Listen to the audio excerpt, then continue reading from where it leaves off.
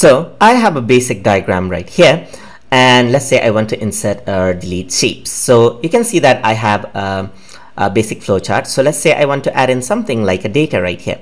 So what I can do is I can simply click and drag the data and I can drag it on the arrow and once I drag it in the arrow you can see that there's a sort of green line which means that I can leave the arrow so once I leave this out you can see that the shape actually fits in and the diagram is created for us uh, for the external data let me just do the same and over here let me just click and drag and you can see that another page is created uh, which actually uh, is this intelligence acting out so this feature is available from uh, Visio 2016 and above. So if you want to delete this out, I can simply go over here and delete it. It does not actually remove the space, but it does have this. So you can actually select all of it, rearrange the data as you like right here, or add in another, another shape just like that.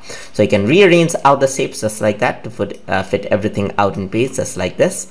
And that's it. So you can drag in anything like a database keep it in between two lines and that's how you arrange the data just like that.